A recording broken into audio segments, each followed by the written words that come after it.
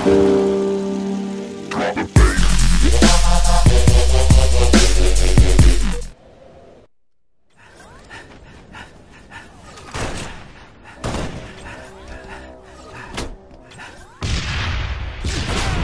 the lead.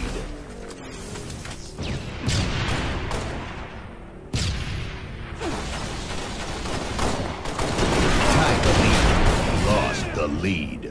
Tied the leader. Gained the lead.